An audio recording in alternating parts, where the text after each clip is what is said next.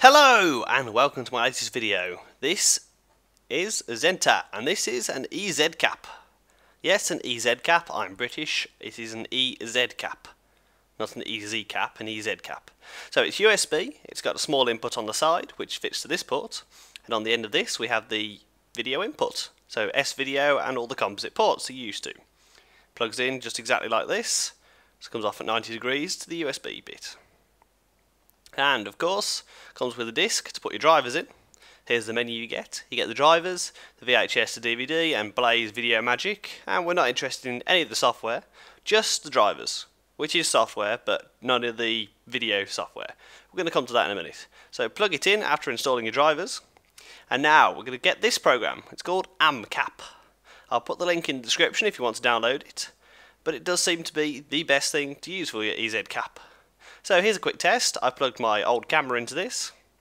As you can see, we've got the video playing on the camera and on the computer at exactly the same time using a composite input. So it's the same as your gaming console.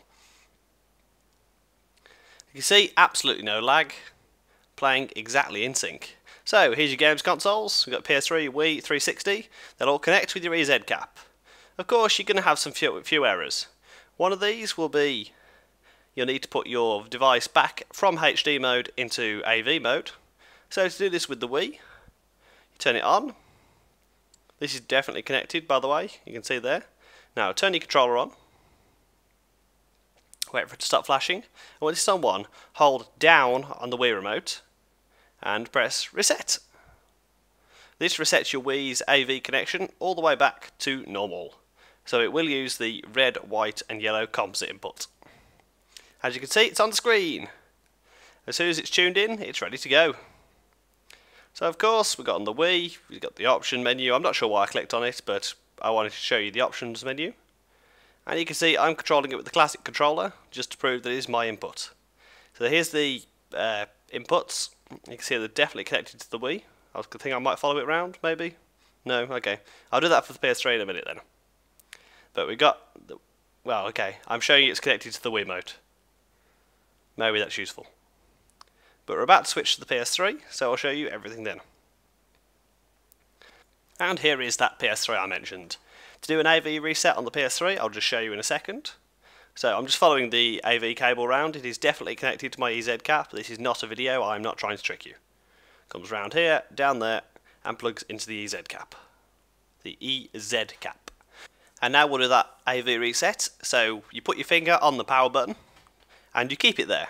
Yes, it's not a button on this PS3, but on the other PS3s it is a button. Because we're going to try and avoid this red screen. But this red screen can also be triggered by another factor, that it's looking at the wrong input. Because obviously you've got the uh, the normal yellow, uh, red and white for your input, but you also have the one which is many connections. And when you select the composite input, you get this, your PS3. Hurrah! Now, now I'm going to show you just how good this is. So I'm setting it up to record. We have the bottom right screen, which is the recorded content. But I've also set my camera up over my shoulder. It's exactly the same. As you can see, it records the sound as well. This is coming straight from the recording. There is no camera input. It's come straight from the uh, AMCAP software, which is amazing. And we're playing this uh, classic game. Maybe you'll recognise it. I don't know. It is pretty recognisable. I mean, look at that. It is recording in 4 to 3 format, in case you haven't noticed. That is uh, square screen, not widescreen. Uh, there probably is a way to fix this, but I didn't really look. Because I didn't realise it was recording in this. I was just there, I recorded both these. So I'm playing as Link, unlike in my Minecraft, well, like in my Minecraft series. But the controls are a tad more difficult. Trying to remember them all and use them effectively wasn't an easy task, come on.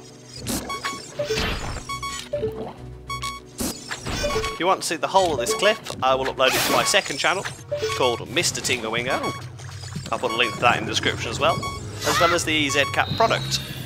So everything you want, if you want the link, it'll probably be in the description. Go there to find it.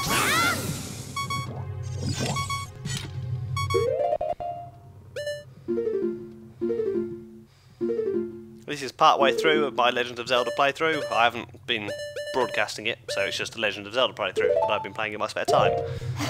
But you can see it records from the Wii. What about the PS3? Surely that's no different. So a bit of Modern Warfare 2 and recording.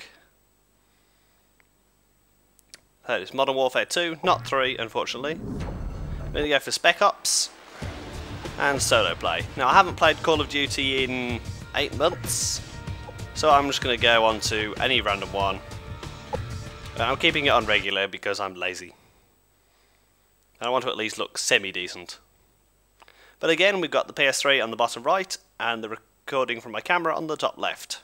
Bear in mind I'm recording on an LED screen, so it might look slightly different to my recording. Now you can see here, I'm just putting it to full screen. Again, this is when I realised it was in 4 to 3. I didn't realise initially. So, for those of you not familiar with the Call of Duty series, where you indeed, essentially kill the terrorists. You're in some sort of uh, village of some description. And I'm not doing a very good job here. I'm sure you can find better videos of playthroughs on Call of Duty. I'm just proving to you that the EZ cap works.